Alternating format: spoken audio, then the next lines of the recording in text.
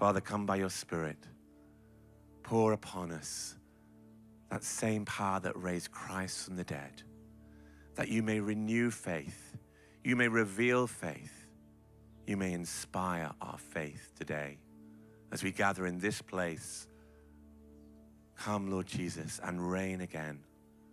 Let us see your glory and yours alone as we worship you, the King of Kings and Lord of Lords, our wounded, risen Savior. Amen. Would you stand?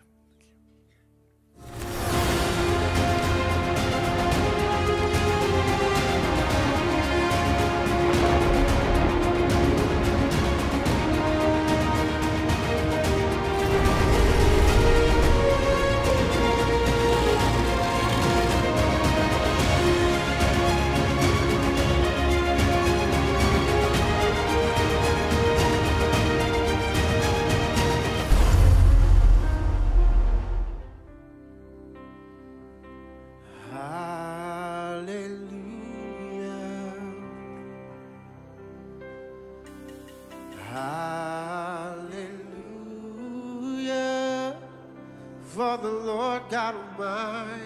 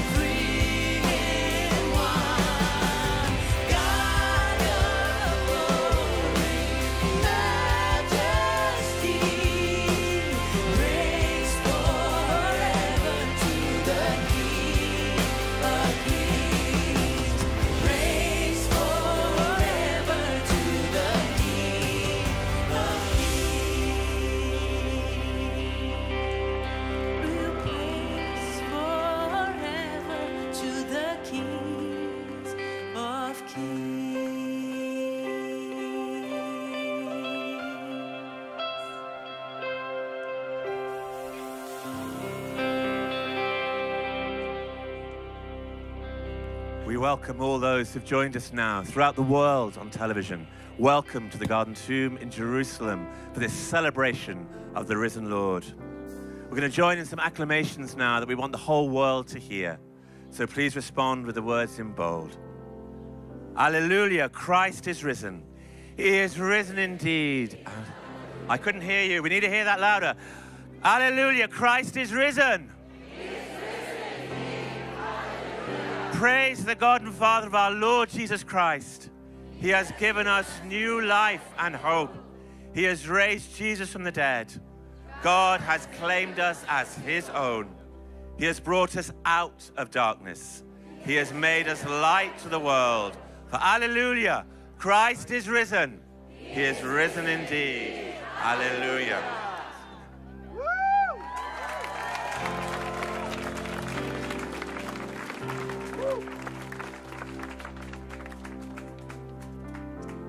Hallelujah. We want to sing a song that has been a tradition for us here at the Garden Tomb for, well, at least since I've been doing this for 16 years, if not longer.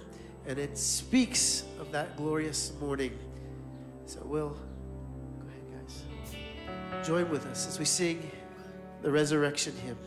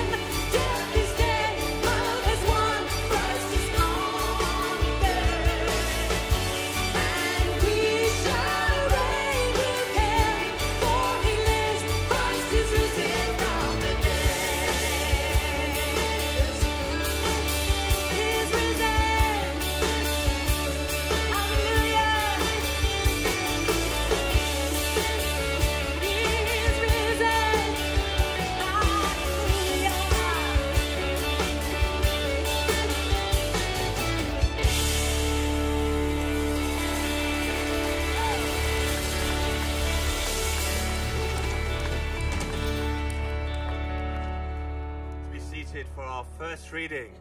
And following this, another song should be sung Graves into Gardens.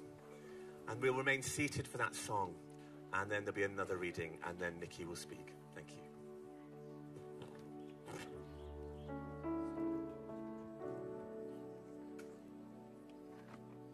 Short reading from John 19. At the place where Jesus was crucified, there was a garden. And in the garden, a new tomb in which no one had ever been laid. Because it was the Jewish day of preparation, and since the tomb was nearby, they laid Jesus there.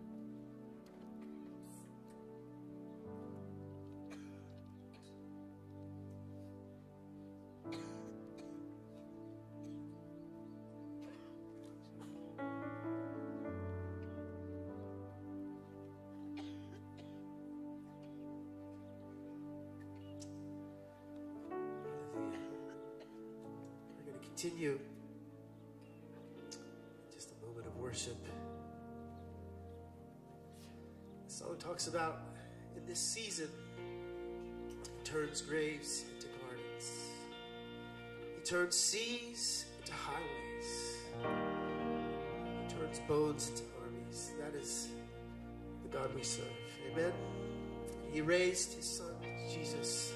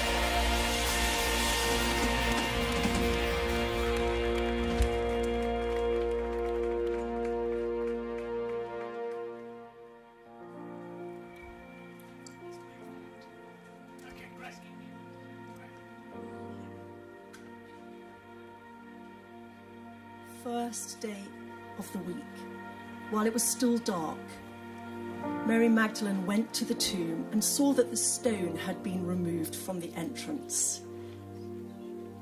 So she came running to Simon Peter and the other disciple, the one Jesus loved, and said, They have taken the Lord out of the tomb, and we don't know where they have put him. So Peter and the other disciple started for the tomb. Both were running. But the other disciple outran Peter and reached the tomb first. He bent over and looked in at the strips of linen lying there, but did not go in. Then Simon Peter came along behind him and went straight into the tomb. He saw the strips of linen lying there, as well as the cloth that had been wrapped around Jesus' head. The cloth was still lying in its place, separate from the linen. Finally, the other disciple who had reached the tomb first also went inside. He saw and believed.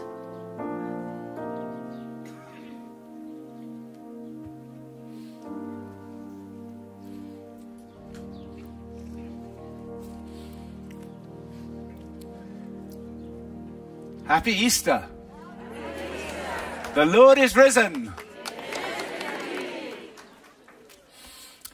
You might have noticed, some of you, that I have um, these bandages on my hands. It's not that I'm trying to identify with the authentic Easter. Actually, I had a, an argument with a shower panel, and the shower won. But Pippa reminded me this morning that even the risen Jesus had scars on his hands. And that means two things. Number one, it really was him. And number two, it means that God can take even the most painful and difficult days in our lives and turn them for good through the resurrection. That's the good news of today.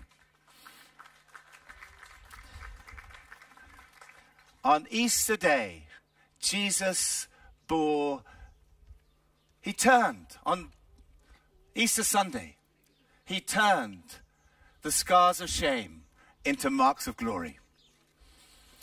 And it's a huge privilege to be here. Pippa and I are so excited to be here in Jerusalem on this day, in this special and, and actually unique place in the world, to be in Jerusalem, in the Garden Tomb. It's said that the history of Jerusalem is the history of the world. And Jerusalem was once regarded actually as the center of the world. It's the only city to exist twice once in heaven and once on earth. The Abrahamic religions were born here, and the world will end here on the day of judgment. And today, we are at the epicenter where the central events in the history of the earth took place. Professor C.M. E. C.E.M. Joad was a, an intellectual, one of the great intellectuals of the 20th century. And he was an academic, he was a professor, a lecturer, and also a broadcaster. And he used to go on these panels, which I, if you come from England, you would think, recognize things like question time, where you have five people on a panel, you ask various questions, and often the last question is a kind of more interesting one. And the last question on the panel one time was if you could meet one person in history and ask them one question, who would you want to meet and what would your question be? And Professor Joad replied without hesitation this was a man who was an ardent atheist. He had spent all of his life arguing against Christianity.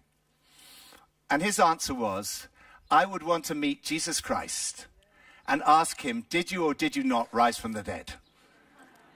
He said, That is the most important question in the world.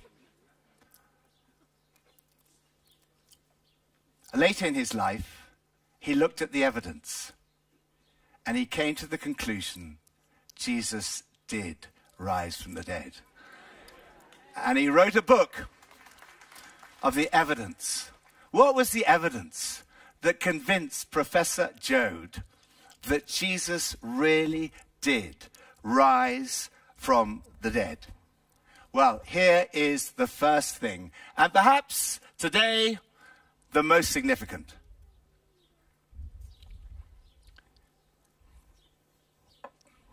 It's right over there. Right over there is a visual aid. It's either the tomb from which Jesus, Jesus was raised, or it's one very like it. And the tomb was empty. Or at least it wasn't entirely empty. There was something in the tomb that convinced the disciples that Jesus had risen. When they got to the tomb, as we've just read, what did they find? They ran. Mary saw that the tomb was empty, and she went to tell the other, to tell Peter and John.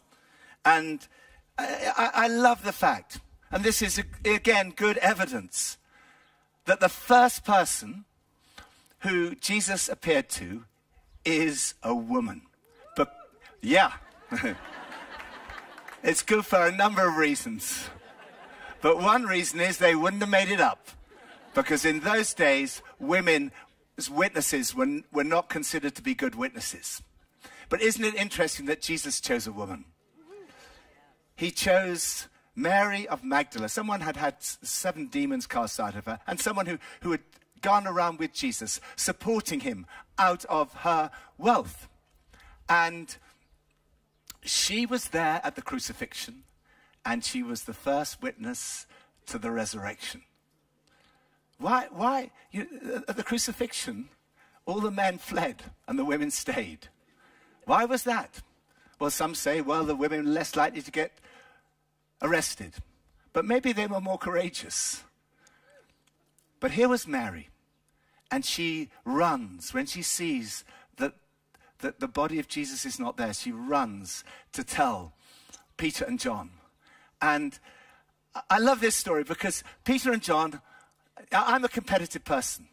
And you can see that John, who describes himself as the other disciple, that's the only modesty about John in this account.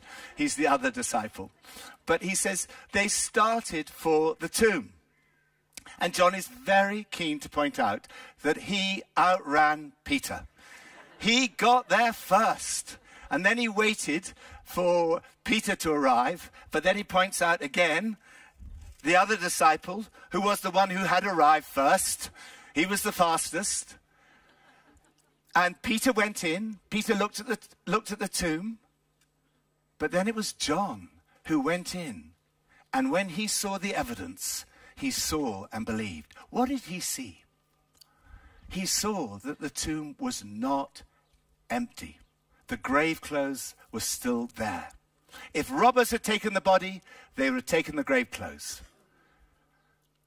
But what was left was the one valuable thing. The grave clothes had collapsed like a caterpillar's cocoon when the butterflies emerged, and the headpiece had been folded up and put in another place.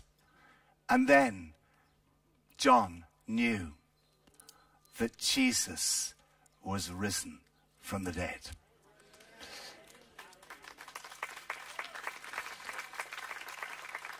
Second piece of evidence the appearances to the disciples. And it starts with Mary. I love this account, just beyond the reading that we had. It says that then the disciples went back to their homes, but Mary stood outside the tomb crying. And she turned round and saw Jesus standing there, but she did not realize it was Jesus. I was amused to hear uh, a man whose name is uh, Dick. Just trying to remember what his name is. Dick, Dick Griffin. He is the, the Queen's protection officer. Uh, for the last 14 years, he was known as the, the Queen's police officer. He was the one who, who went, accompanied her wherever she went for the last 14 years of her, of her life. And the Queen used to go to Balmoral for just a break on her, on her own to get away from it all. But she always went with her protection officer, Dick Griffin. And they would go out to have a picnic lunch. And this is in Balmoral in Scotland. It, it's pretty deserted. They have a picnic lunch and then they go for a little walk. And very occasionally they would bump into hikers out for a walk. And the Queen would always say hello. One time she was, uh, they'd had their picnic, they were going for a nice little walk, and two American tourists were hiking. And it was clear that when the Queen said hello, they didn't recognize her. And uh, they asked, uh, uh, Oh, hello, where, where, where do you uh, live? And she said, Well, actually, I, I live in London, but I have a home just over the, the hill there. And uh, I said, Oh, so uh, how long have you been coming here? She said, Oh, I've been coming here since I was a little girl, uh, over 80 years. And their sort of minds were clicking. Wow, if you've been coming here for 80 years, you must have met the Queen. so she said, No, I haven't met the Queen, but Dick here meets with the Queen regularly. so they were, they were, they were really impressed. They, they turned to, to, to, to him and said, Oh, really? What's she like? And he knew that the Queen had a good sense of humor. So she said, Oh, she can be rather cantankerous at times, but she has a good sense of humor. So, so the next thing he knew was one of them had their arm round his shoulder, was taking him away and saying, Could we have a photo with you? And then they got out their camera and handed it to the Queen. and the Queen took a photo of them together. And then they swapped round and they took a picture with the Queen. And the Queen didn't say anything.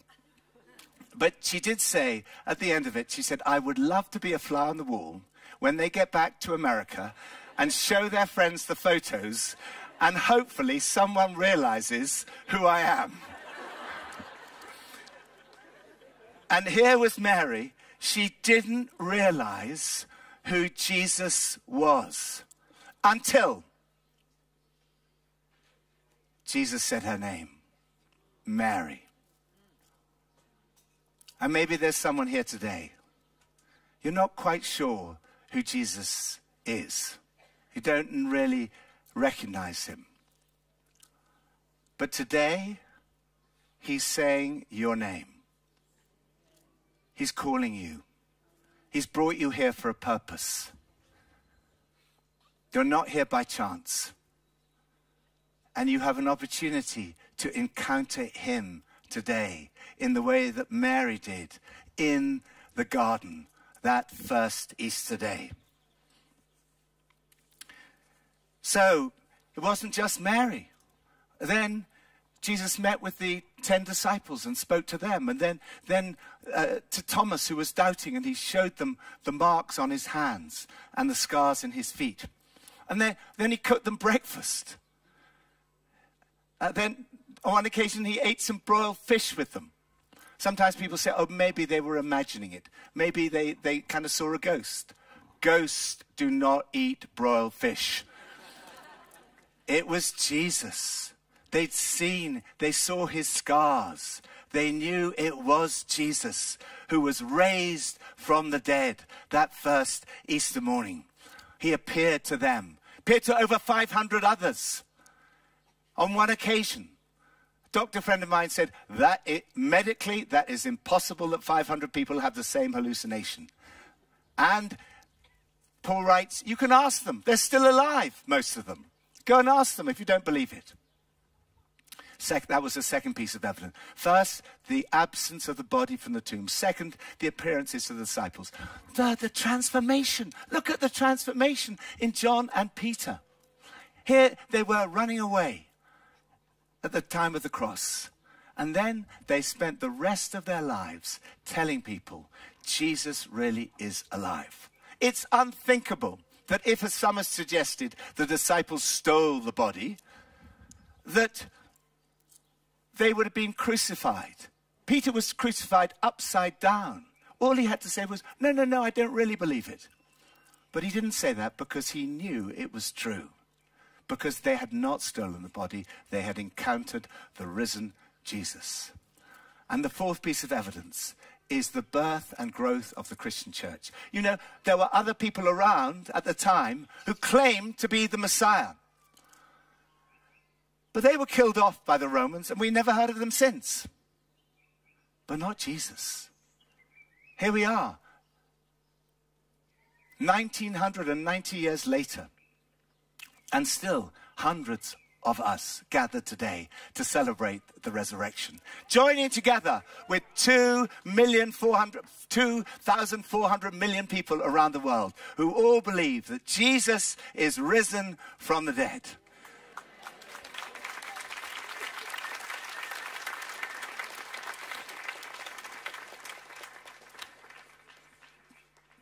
And the interesting thing, someone pointed this out, uh, uh, a, a, theologian, a Cambridge professor, pointed this out just the, the couple, last couple of days to us, that it's very interesting that we cannot actually be sure that this was the tomb, or that it, that it wasn't the one in the Holy Sepulchre or somewhere else.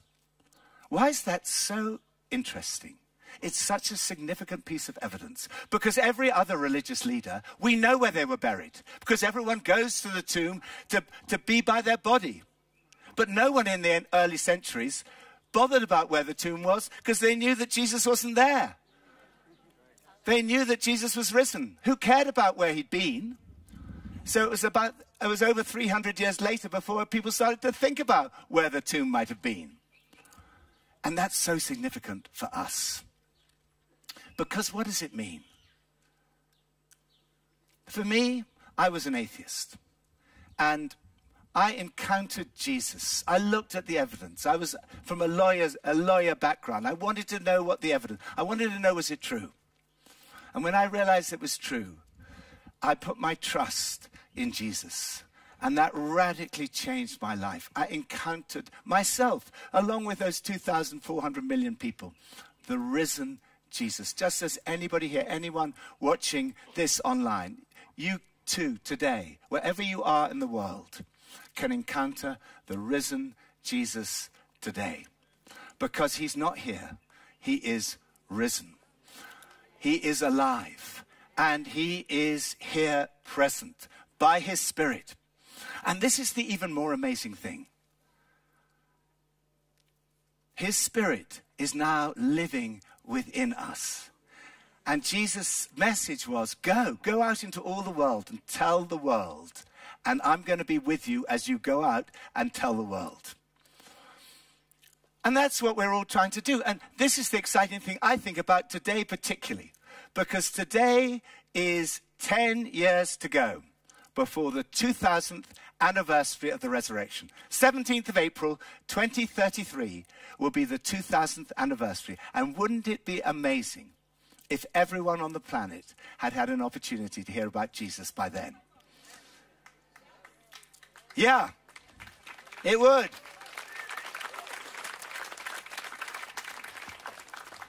How could that happen?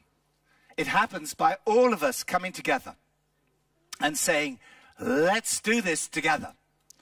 So, the Bible translators are working to get the New Testament into every, well, 99.996% of the languages in the world. And every language will have 25 chapters in the New Testament. Rick Warren is working on a Bible, a believer, and a body of Christ in every community. Catholic organizations. There's some organizations here working on the 2033 vision. We at Alpha, we want to play our part. We want to try and make Alpha available to everyone on the planet by 2033, and we're working on that.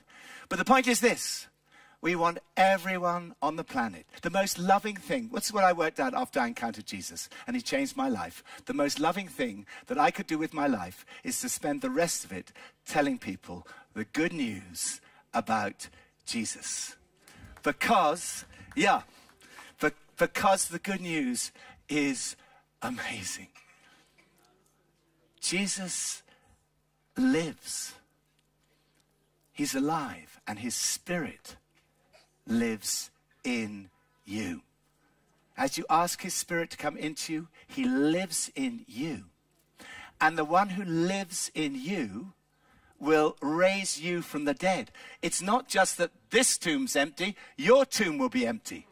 Because when you're buried, God will raise you to new and eternal life. And what does that say? It says that the resurrection, the reality of the resurrection has changed our world. But it's also very personal. One day, he will raise you. Every atom of your being, every fiber of your D- DNA will be raised to life. And that means that your life now has, is full of meaning and purpose. And it also means that God can take the most difficult moments in your life and turn them around through the resurrection.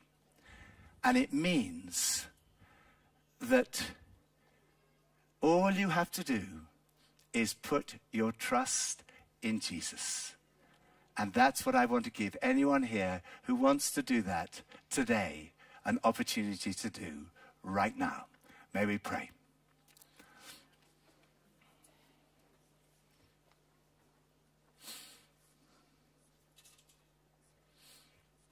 I encourage you, if you would like today to be sure that you really have trusted Jesus personally and that the Holy Spirit really is living within you. His Spirit, the Spirit of Jesus, comes to live within us and sends us out into the world. If you want to be sure, here's a prayer which you can pray. Just say in the silence of your heart, Lord Jesus Christ, thank you that you died for me and were, and were and that you were raised to life the first Easter day. Thank you that you're here now. And right now, I want to turn from everything that I know is wrong. And I want to put my trust in you and what you did on the cross for me and in your resurrection. And I ask you today to come and live within me by your Holy Spirit. Thank you, Lord Jesus. Amen.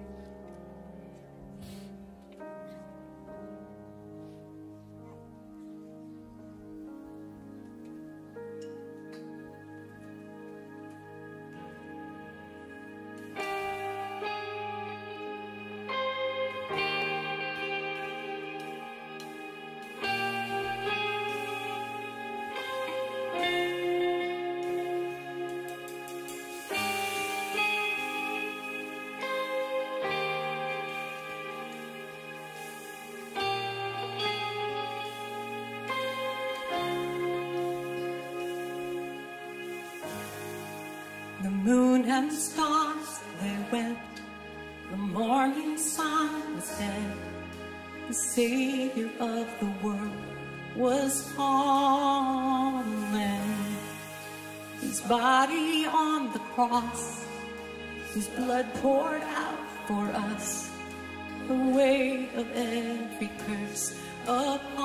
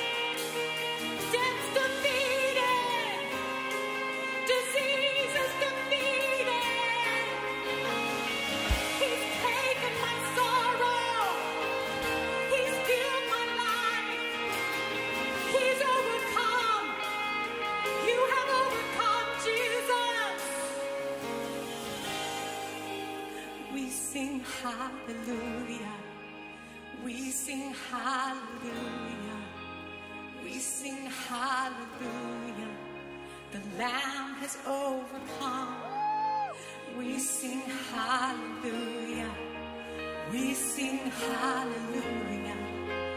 We sing hallelujah. The Lamb has overcome. We sing hallelujah.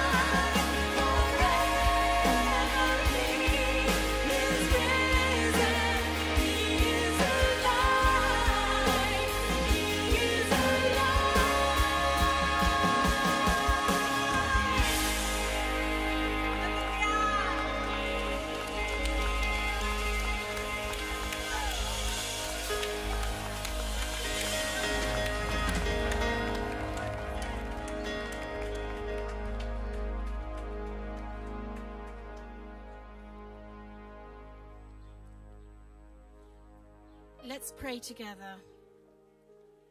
Father God, creator and king over the heavens and the earth, we want to thank, praise, and worship you for the day today that you have made. We are so grateful that we can celebrate this special day, remembering that you sent your son Jesus among us so that we can know you, have our sins forgiven, and experience a new life in him. Thank you that we can celebrate a risen Lord and Savior. We ask that we might grow day by day in our love, knowledge, and service of Him. For those who don't yet know Jesus as Savior, we pray that your Holy Spirit would give light and revelation, and that they would come to know His forgiveness and risen life and power in their lives and become servants of the Lord. We also pray for those who have walked with you in the past, but have wandered away or explored different paths. Lord, please call them back to return to you and your ways. Now, Father, as we are able to celebrate Easter freely together today, we ask that you would strengthen and encourage our brothers and sisters who are not able to meet together so freely. We pray for those in lands where they are unable to worship together or share the gospel. And we pray for those who are in prison because they are believers in Jesus, that you would provide for and protect them and their families day by day. We also pray for those who are unable to celebrate because of grief or disaster, conflict and hatred, where families are separated or struggling to survive, homes have been destroyed, and where there is danger and fear within communities. Father, may your peace prevail in their hearts, minds, and lives, and may you provide for their needs, both spiritual and practical, day by day.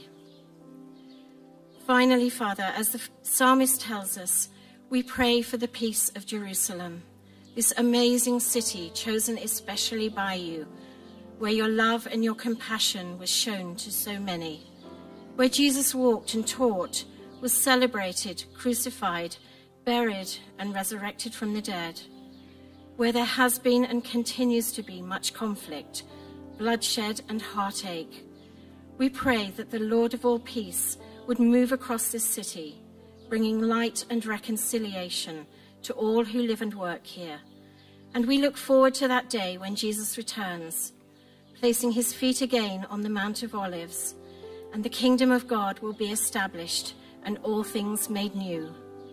Even so, Lord Jesus, come, for yours is the kingdom, the power, and the glory, forever and ever. Amen.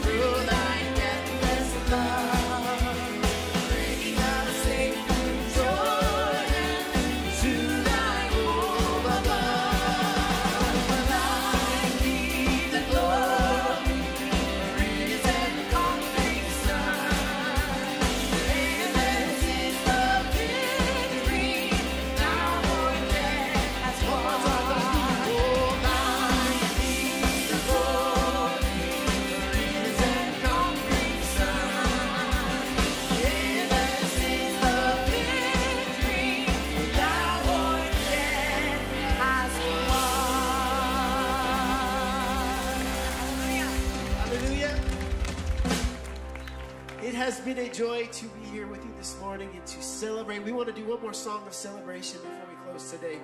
This is a song of rejoicing. This is a happy day. But guys, you can clap and sing and dance. We can rejoice today. Here we go.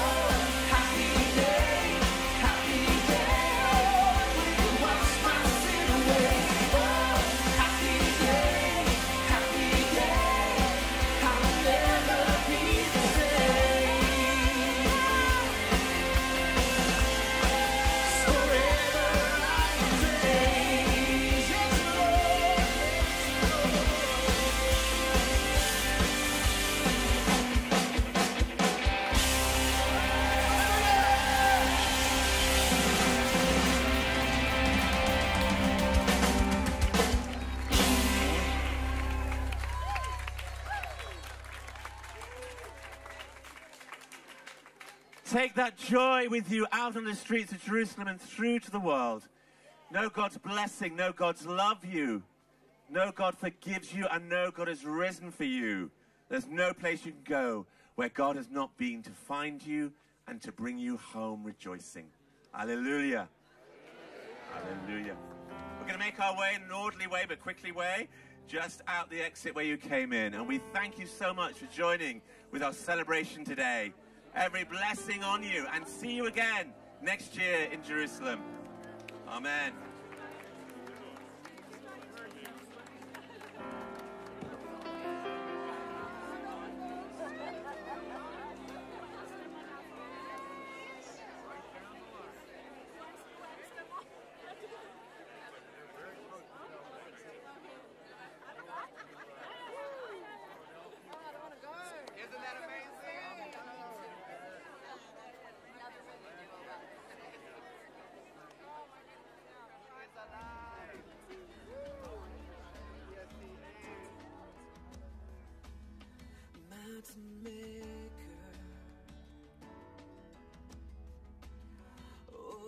Tamer,